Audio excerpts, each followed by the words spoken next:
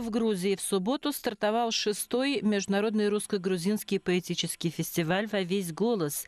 Из прекрасной солнечной республики с нами на связи наша прекрасная Елена Косенкова. Елена, здравствуйте. Здравствуйте, Наталья, здравствуйте. Что, что происходит сейчас в Грузии? Расскажите нам, пожалуйста, о фестивале, и, возможно, с вами будет какой-нибудь участник фестиваля. Да, конечно, конечно. Вчера в Тбилиси торжественно открылся, как вы уже сказали, шестой международный русско-грузинский поэтический фестиваль «Во весь голос». И это важнейшее для российско-грузинских отношений мероприятие не случайно открылось именно вчера. Это было 85-летие великого грузинского автора Надара Думбадзе. Кроме того, сейчас празднуется 20-летие величайшего грузина, которого мы все знаем, Владимира Маяковского. И, в общем-то, к этим двум датам поручено открытие фестиваля.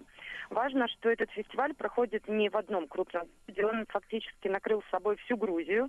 Участники фестиваля за эту неделю посетят 17 городов. И вот сейчас, например, мы находимся в Джавахете, Город Ахалкалаки находится на высоте 1600 метров, недалеко от границы с Арменией.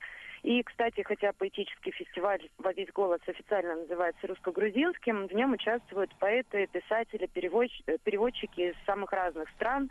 Это Австрия, Азербайджан, Беларусь, Болгария, Венгрия, Германия, Дания, Израиль и еще ряд стран. Всего более 70 участников. Конечно, в том числе из Армении. Но сейчас я хочу передать слово Александру Садашкевичу. Это поэт, переводчик, автор восьми книг, поэзии, прозы и переводов. Он член Союза российских писателей, Союза писателей 21 века.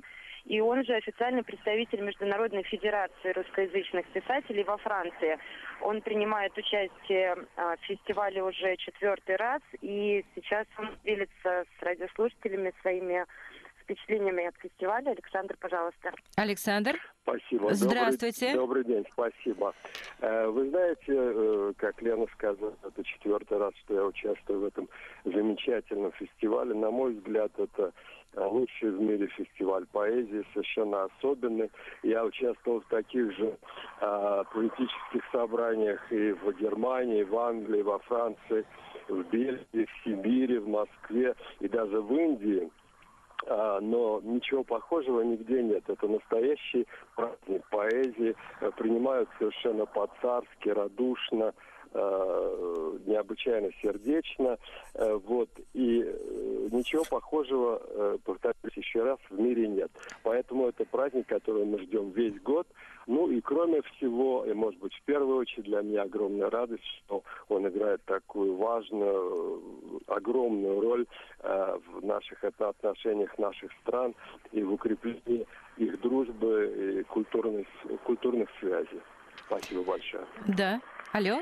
Напомню, это был Александр Радашкевич, да, и я должна продолжить, что, э, конечно, сказать пару слов об организаторах. Это Международный культурно-просветительский союз «Русский клуб», и, в частности, нас принимает здесь Николай Николаевич Свинтицкий. Я надеюсь, что обязательно еще его тоже в эфире познакомлю со слушателями. Непременно. К сожалению, сейчас он в организаторских делах. Ну и еще раз напомню, что фестиваль э, «Во весь голос» продлится неделю, и надеюсь рассказать вам еще об этом большом э, русско-грузинском празднике поэзии. Наталья. С нами на связи была Елена Косенкова. Елена, я вас благодарю. Желаю удачи, интересного фестиваля, интересных событий и много-много новых интересных встреч. Спасибо.